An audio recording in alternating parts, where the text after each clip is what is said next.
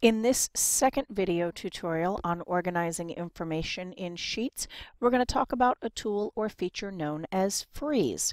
Freeze allows you to choose rows that you want to remain at the top of your sheet or columns that you want to remain on the left-hand side of your sheet. So any other organizational tools that you apply to the sheet will not apply to rows or columns that you have frozen.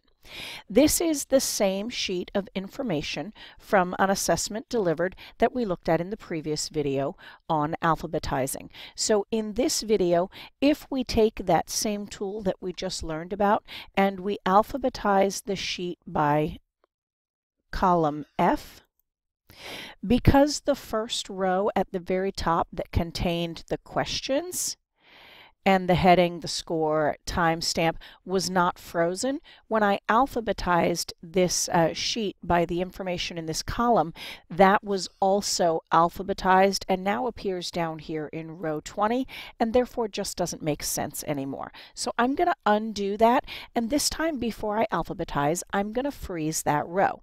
So I can select on row 1 if I want to freeze it or I'll have an option to just freeze the first row. The freeze option is is under the menu View, and it's there at the very top. So when I choose freeze, if I choose one row, it does apply to the very top row. You can always look at a sheet and tell if any rows or columns have been frozen because the line that separates that uh, underneath or to the right in the case of a column will be thicker than, uh, than the standard cell borders that are contained in this sheet. Now if I go back to column F and I alphabetize again, you can see that the frozen row remains at the top. So this is a great way to keep your uh, question at the top of your sheet, but also to keep student names on the left, the score on the left, timestamp, things like that.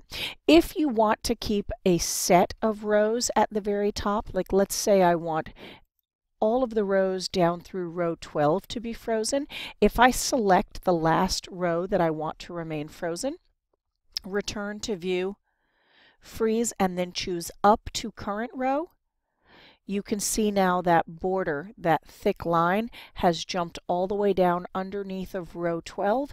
And now if I alphabetize or do anything else to change the order of data contained in my sheet, it does not apply to the first 12 rows. And again, freeze works on columns or rows as long as you're holding them at the top or on the left.